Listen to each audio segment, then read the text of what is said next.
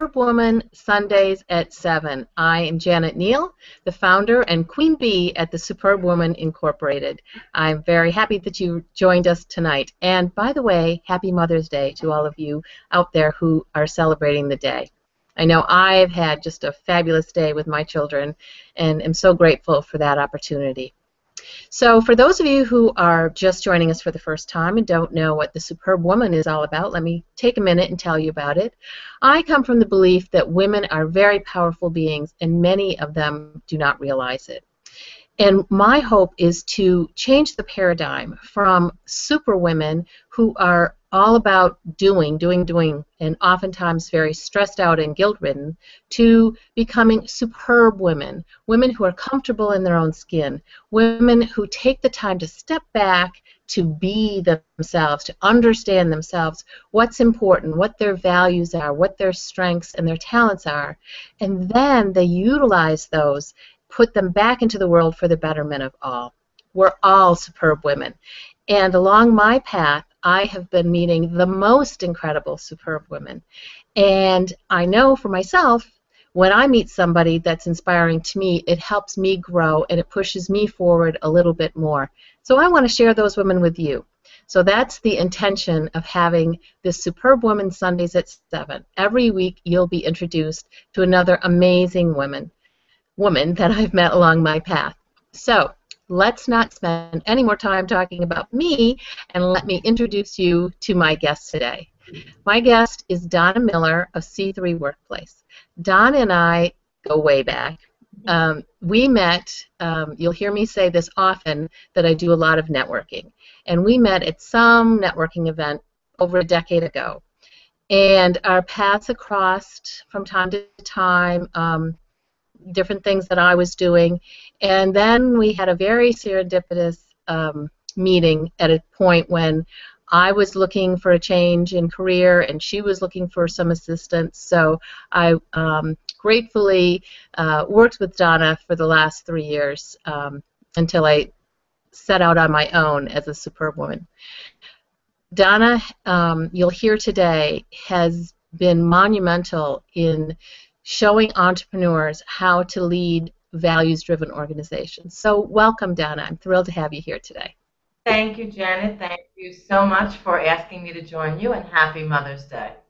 Thank you very much. Glad to have you.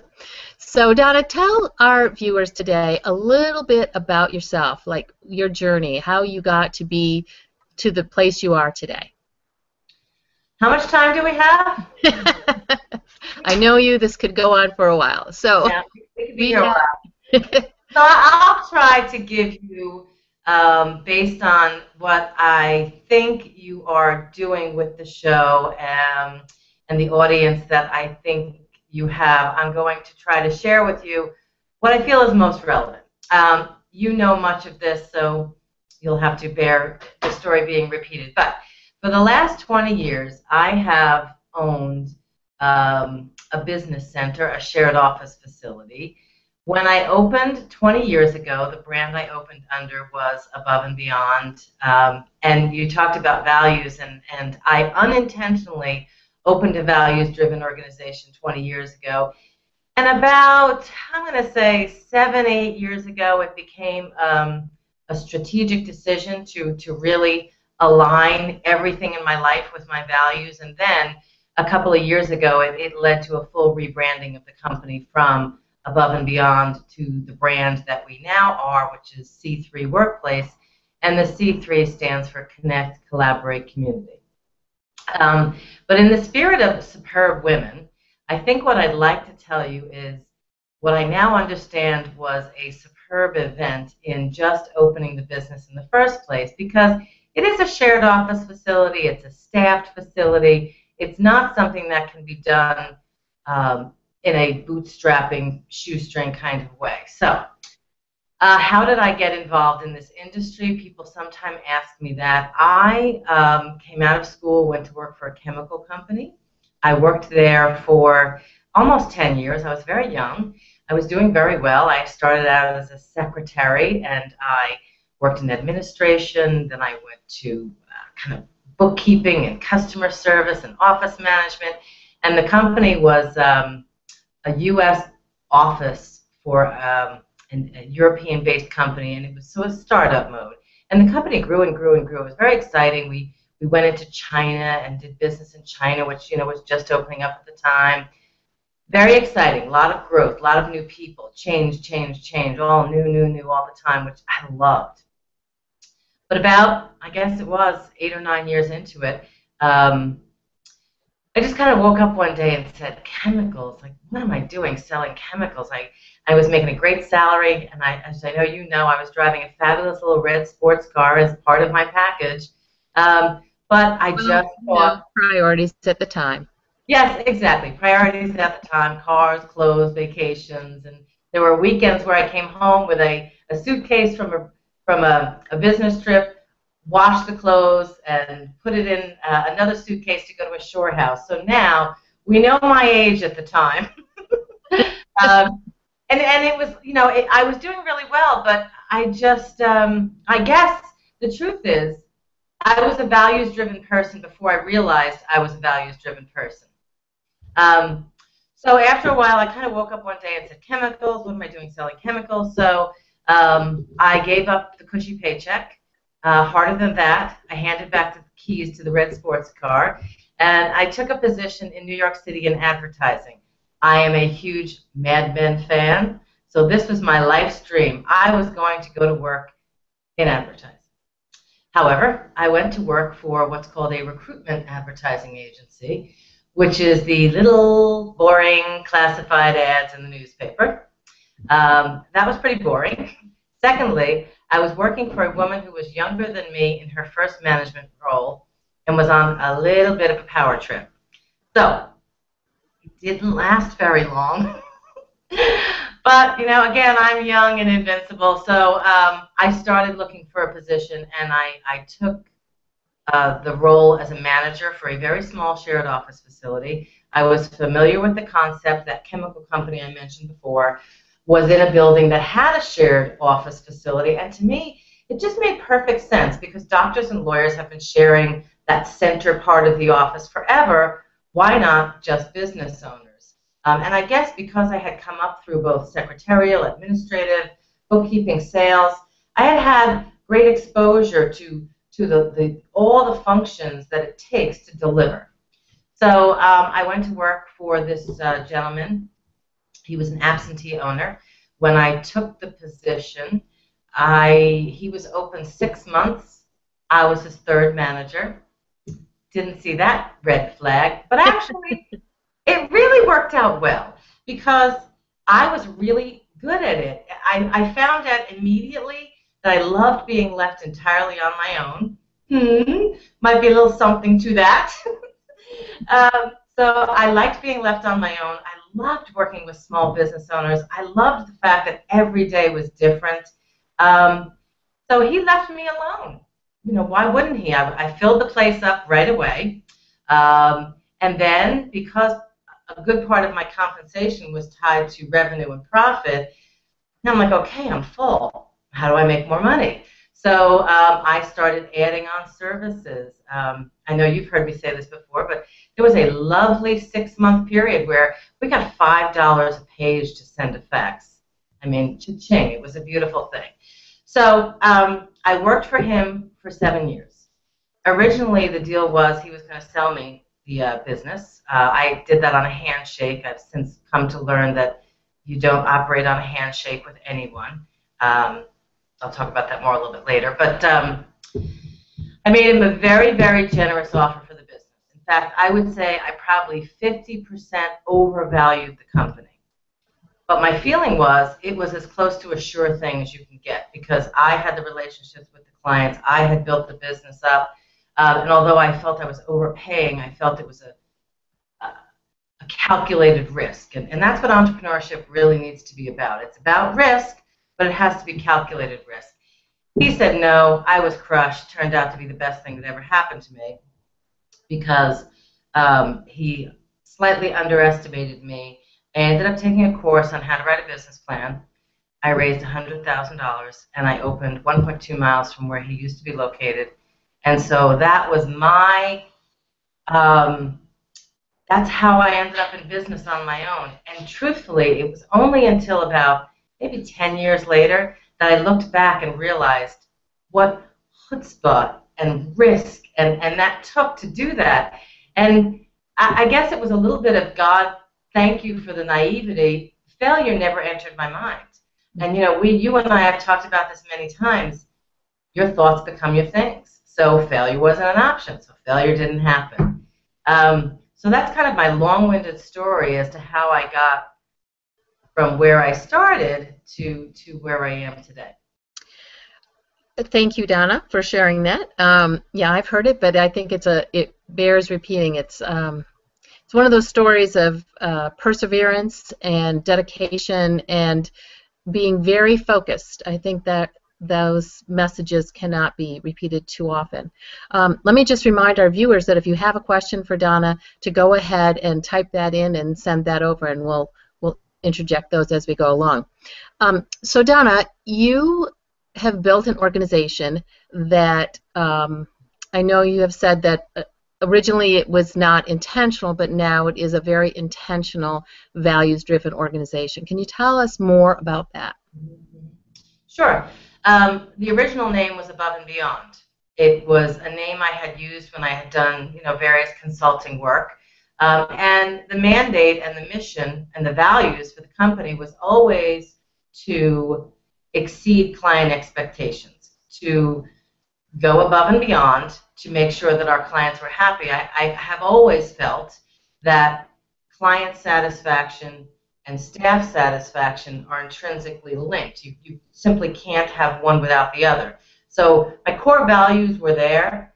I just um, don't think that I was as aware of them as a corporate culture. And that's what ended up happening is these values started to define who we are. And when I first opened the business, not unlike if your audience are entrepreneurs and yourself included, when you first open a business, you're it. You are the biggest revenue generator. You are the person at the front desk. You're doing all the things. So as I started to make the shift to scale my business, where I was stepping away from being the revenue producing person, the culture that I had created and needed to create became more and more important. So the values that we have always lived by are they're kind of simple. Golden rule: treat people like you want to be treated. Um, under promise and over deliver. I am a very democratic, participatory manager and business owner. So everyone who is part of my team is part of the process. And I find that that helps them to take ownership of it and it helps them to feel comfortable risking, suggesting something, because that's not always comfortable for everyone. So in, in C3 Workplace, we, a couple of years ago, and you know, you were part of that crazy process of rebranding, which was fun, exhausting, crazy, fun, exhausting, crazy. Um, we really wanted to be very clear about who we are. So the C3, Connect, Collaborate, Community, what it really means to us is it turned out how we help small businesses grow is we provide flexible office and meeting space. We provide all kinds of back office support, bookkeeping, educational networking events. But the reality is the underlying value was that we're connectors. We connect people with what they want. So we become go-tos, whether you need, whether you're calling us for something that you think we offer, or you're calling us for something you know we don't offer because you know we, we associate with like valued people, and if we make a referral, it's to someone who's like valued. So connect, collaborate. I thoroughly believe in collaborating versus looking at the, the business landscape with a, a collaborative lens versus a competitive lens. I believe there's plenty out there for all of us, and a rising tide lifts all boats, and let's work together. So connect, collaborate, community. So by connecting and collaborating, we're building this amazing community of like-valued people, and it takes on an energy. And so I feel very, very blessed to have gotten very clear on what those values are and to be able to literally rebrand and redirect the company based on those values. Excellent. and I know having been a part of that, yes, it was a very fun and um, what did you say? What were the three things? Crazy, frustrating. It was. We laughed, we cried, we yelled. yes, all of the above. However, um, and I'll just you know talk from my experience from a business. I've had several businesses, and it was such a an education for me, positive education for me working for Donna because Donna really.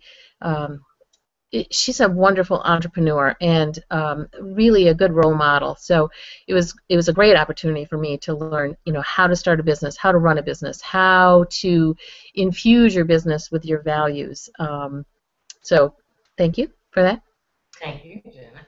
Um, so we do have a question here. Um, you had mentioned something about co-working. Um, could you spend a minute explaining what co-working is all about for those of you out there who don't know? Sure, sure. Um, co-working really, we offer workspace. We offer, in essence, four different types of workspace. We offer private offices. We offer, you all know what a private office, we offer semi-private offices. We offer meeting space, conference rooms.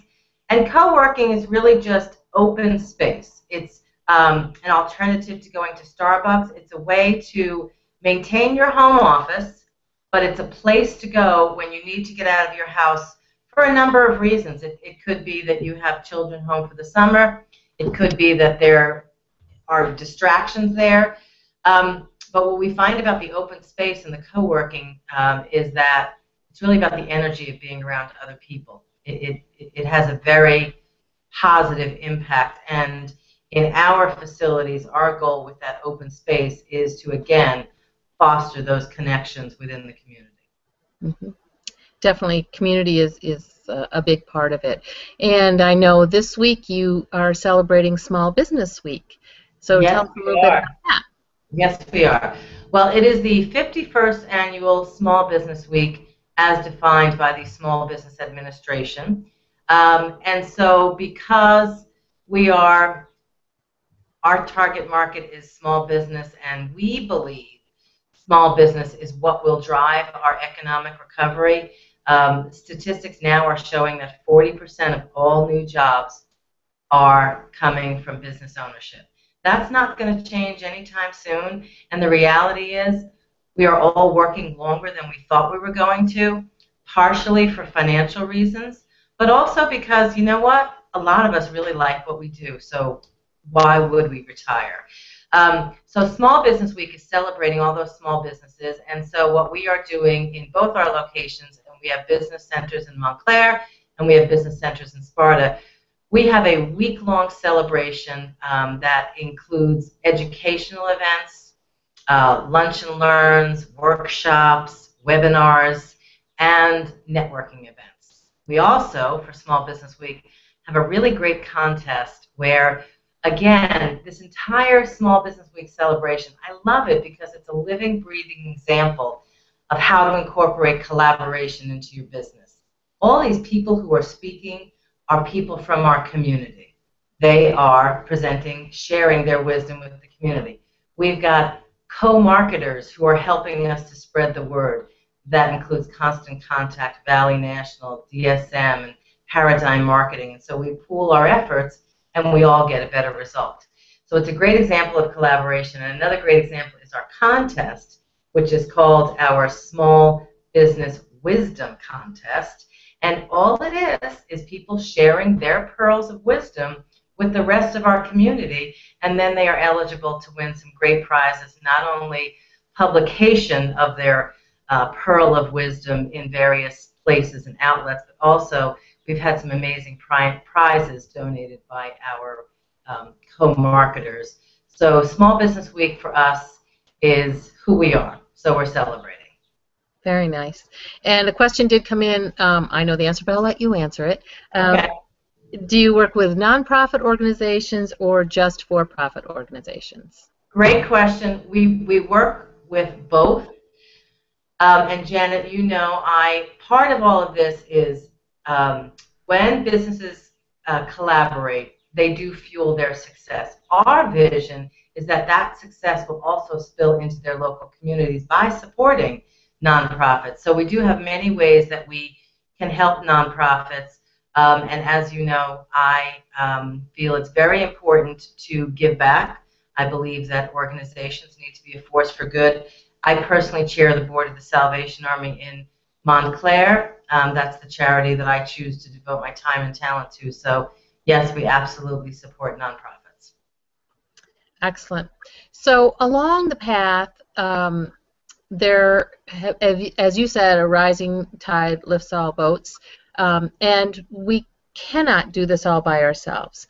So, has there been somebody along the way that has really been influential in helping you um, become the superb woman that you are today? Uh, you know, you, you, you me you were going to ask that question, and I have to say, I think it's very hard to I, identify one person. Uh, so I'll give you a couple of examples. Uh, and I mentioned this the other day when I spoke at the Salvation Army. I realized in preparing for that little talk that my steno teacher in high school, I thought she was ancient at the time, and I probably 50. um, but she taught me to take pride in your work. That's become a real core value for me. I mean, she would say, type the letter, look at it, hold it upside down, does it still look good? And it stuck with me all these years later. My first boss, who um, let me, gave me all the opportunities to go from a secretary to when I left working for him, I was a marketing manager traveling nationally.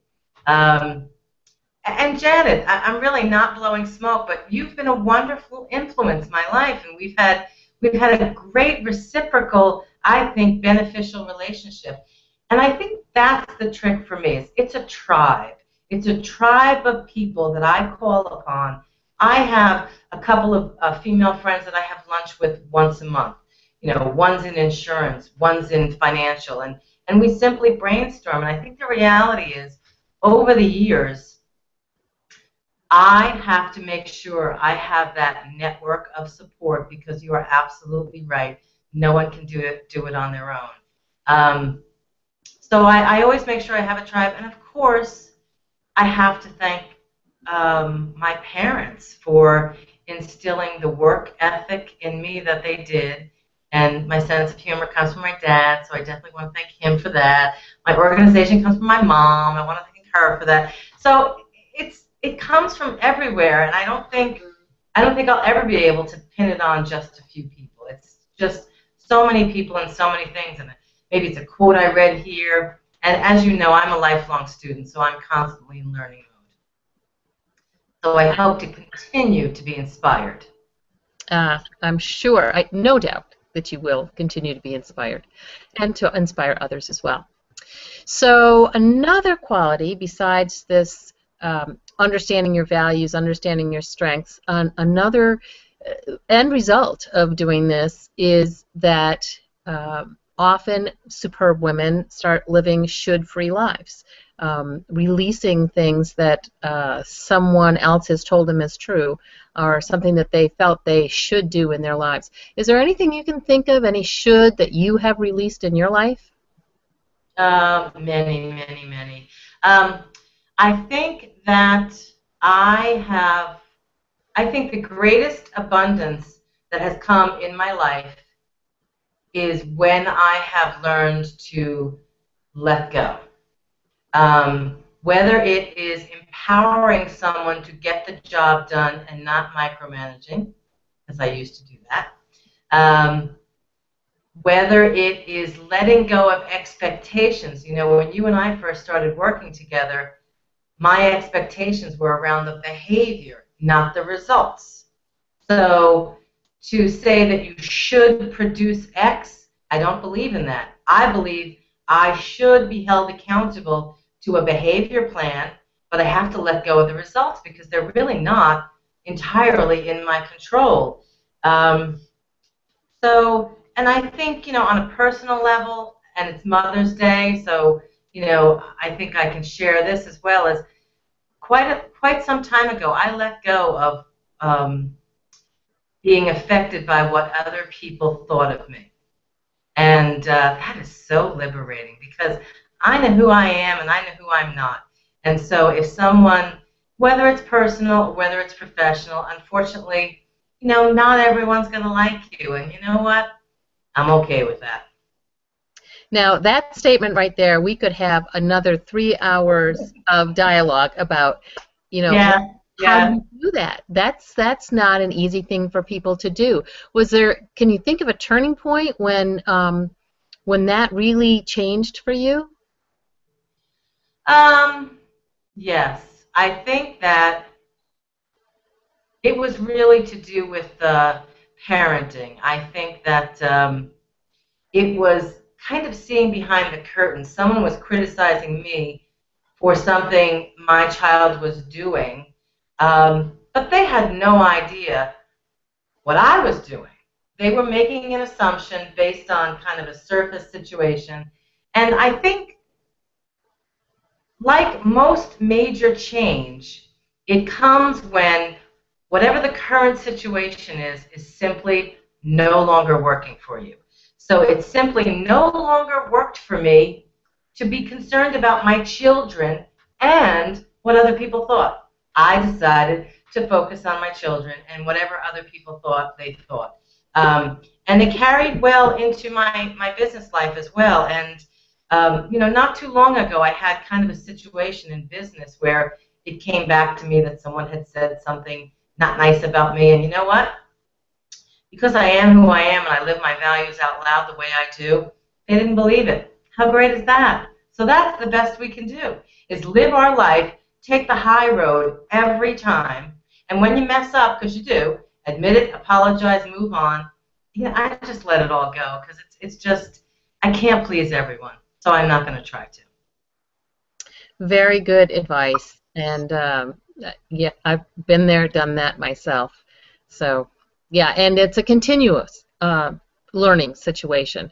Um, one phrase that helps me a lot is what other people think of me is none of my business.